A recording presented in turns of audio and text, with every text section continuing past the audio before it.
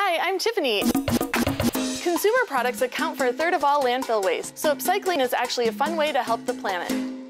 Today we're gonna make a serving tray out of empty boxes from the Naked Grape. You need an empty wine box, a picture frame, a drill, a ruler, a utility knife, a glue stick, two wine corks, two old drawer handles, and a glass of wine.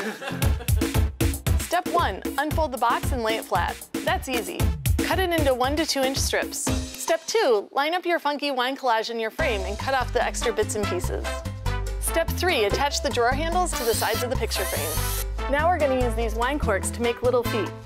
Just cut them in half, make sure they're even, and glue them on. All done. Now here's another idea. Want to recycle your Naked Grape box? Sign up for the Naked Grape Wine Box Brigade at TerraCycle.com. Then smush your Naked Grape boxes flat, spout lining and all, print out the free shipping label, and send it to TerraCycle. Human Resources is presented by the Naked Grape.